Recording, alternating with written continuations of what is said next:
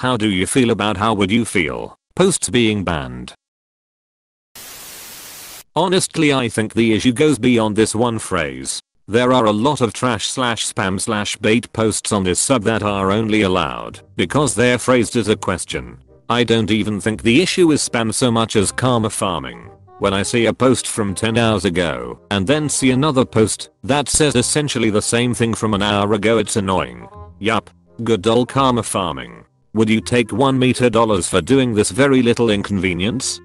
Then people go nuts over this crap, and it gets 100 awards and 40k upvotes. People go nuts you mean bots go nuts. Upvoted. Possibly even awarded.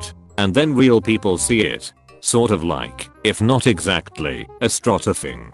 Bro you just exposed Reddit entirely. Honestly if I could write it off as just bots being bots, and not millions and millions of phenomenally stupid people falling for the same thing over and over and over and over and over again that would make me feel a lot better about it. But how will I farm karma? By expressing my very popular opinion. You posted on slash r slash unpopular opinion. For real. I posted a very unpopular opinion on there a while ago and got downvoted to hell. But then someone else posts some shit like stealing is wrong and gets a million upvotes and 10,000 awards. It's because it shows up on r slash all. People upvote the back quote opinion without even knowing what sub it's from. It's the same issue with Ask Reddit and the how. Do you feel back quote questions people don't even open the post. They just upvote because they agree with it and keep scrolling. See? I know in the abstract you're probably right. But there's a significant part of me that doesn't understand. Who even uses slash r slash all? Why would you get content from there? I genuinely don't know that I've ever opened it. Honestly I've just been too lazy to fully curate a custom front page and the default front page is kinda lacking. Askreddit removed the ability to type in the body of an Askreddit post specifically because posters would use it as a soapbox to voice their opinion without much room for discussion because they already answered their own question. How would you feel posts are basically statements. I remember the dark ages when you could find posts like what went through your mind the last time your boyfriend cheated on you with your best friends to see? I'll start. Back when it was tell Reddit. I think someone just came up with AskReddit's evil twin. I thought slash r slash AskReddit was. How about we get rid of posts that are basically just asking what your username is? Lol. Would you tell someone your username for a million dollars? Never. My username is private and will never be seen by the public. I can't see it. Just try your password next. Cryo69 hardpass. Why not? Add the your username as X. What happens? Posts to the ban and I'm in. Please ban this. Your username is. What happens? People with quirky random humor usernames in the comments. Well, this is awkward. Apostrophe. I've got money on the op, having a second account, just to make those kinds of comments. If you reach far back into ancient history of the internet dictionary, this phenomenon is known as samofag. Wow haven't heard that word in a long time. Haha. The old days when every top comment was calling out op for being a bundle of sticks. I feel good. Na na na na na na na. I knew that I would. Now, I feel good. Bum bum bum bum bum. I knew that I were old. There are other question formats I'd much rather see gone before this one. Your username is now X. People who do an annoying thing. Why are you the way you are? What is your least favorite X? And why is it Y? Would you accept absurdly large amount of money in exchange for mild inconvenience? People who do an annoying thing. Why are you the way you are? Please god yes. I hate this one so much. People who drive slow in the left lane. People who stand too close to me in line. They are clearly not actually asked to try and start a discussion and it just ends up with people in the comments either complaining about it or jerking themselves off over how great they are for not doing it. It's because anyone who actually fits that description gets downvoted to oblivion. When they answer the question the post asks. So you either don't see them because their reply has 500 downvotes, or they don't comment at all because they know they'll get 500 downvotes. Those posts are just ways to complain about something you don't like, hoping Reddit will validate you by agreeing. Maybe these types of questions should only be allowed with serious tag that would remove circle jerky complaining and probably also force the question to be asked in a way that encourages actual answers. I feel like the problem though is that those questions are never actually meant to be answered in the first place.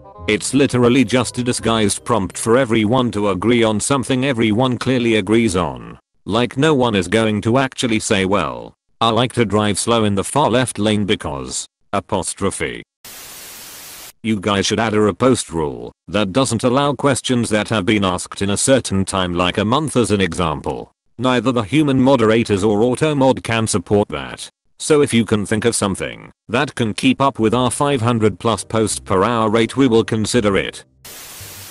I'm on board. Also on board. Source. https slash slash i imgur com slash ukpete jpg. I'm on plank. I'm on raft. I'm on boat. I'd want that. They are pretty boring, since most answers are yes, and there's little discussion to actually have. The only how would you feel post I've seen that was interesting was how would you feel about needing the covid vaccine to travel it wasn't that popular. But it was an interesting discussion. I love the occasional one where the op clearly thinks they're being so clever and morally superior. Only for the comments to tear them to shreds. I've seen a couple where people instantly pointed out that Op's clever question was actually just advocating for eugenics. That comes up every time someone suggests parenting licenses or mandatory parenting tests. It's funny to see entire threads of nothing but no, you moron. But it's depressing that people keep posting it. Only if we get rid of those stupid sarcastic rhetorical questions as well. They are turning this sub into another LPT where every other post is LPT when you're in the movie theater. Don't kick the seat in front of you like an inconsiderate swipe. The little shred of sanity I have left would appreciate it. Yes, the comma stays. It was here before you guys. Get used to it. Lol. How would you feel about losing that last shred of sanity you have left? Well I would. Wait a minute. Would you lose that last tiny bit of sanity for 100 trillion US dollars? Why or why not? You monster. Can we also ban guys slash girls of Reddit? What do you find attractive about the opposite sex? I especially hate the ones that ask about unconventional features you find attractive and every third response is some dumb shit like guys I know this is super weird but I think freckles are cute. DOES and Ioni El Sleeketi HICGI Rulz AMS Kulana forearms OND BLEONMN HNNNNGGGGG. Now if that read does anyone else like thick girls with muscular forearms and stubble on their chins I would park in that comment section like a semi with blown brakes. Yes please. The only people opposing this would be ones who get buzz off of getting karma after saying the same 5 things over and over again. But what about all that karma I got from my would you rather scroll through Reddit or TikTok slash s. Okay, but can we do another one of those no sex posts for a couple weeks things like we did before? Ask Reddit's getting weird again. Keep it to weekends. I think that's probably the most reasonable approach. Redditors are a horny bunch, but limiting it to the weekends or certain times might help alleviate some of the sameness.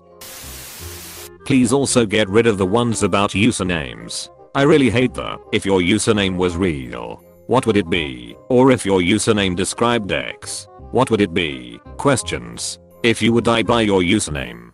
How would it happen? One cool ass bionicle. God yes finally. Now if only they added what screams posts to that. What screams this sub needs a quality filter. So considering you guys are finally open to some more moderation, how about banning all those dumb threats that repeat on a weekly loop? What needs to just go away already? What do you hate with a passion? God tells you he can remove one thing for earth. What do you pick? We all have enemies. But what annoyance would you still never wish on them? What seemingly common occurrence drives you nuts? You run an inconvenience store. What do you sell? What is something you just won't understand? No matter how many times you try to get into it, what social custom needs to just die out already? What lives in your head rent free? If you could make one normal thing illegal, what would you legalize? My grandma used to say, don't use the word hate. Say strongly don't care for. Well Reddit. What do you really really effing strongly don't care for I don't know. Man. Are you telling me we wouldn't have the opportunity to browse interesting and unique responses to those thought-provoking questions anymore? Don't forget the Daily Europeans. What do you find weird about Americans post that immediately rockets to the top off of 10k plus posts about guns and healthcare? r slash how well feel or r slash if both exist. I tried getting them up and running the last time this posy got big. Make it happen people. Sex questions should be reserved for once a week too. How about never? They should go to an adult sub for that. r slash after dark.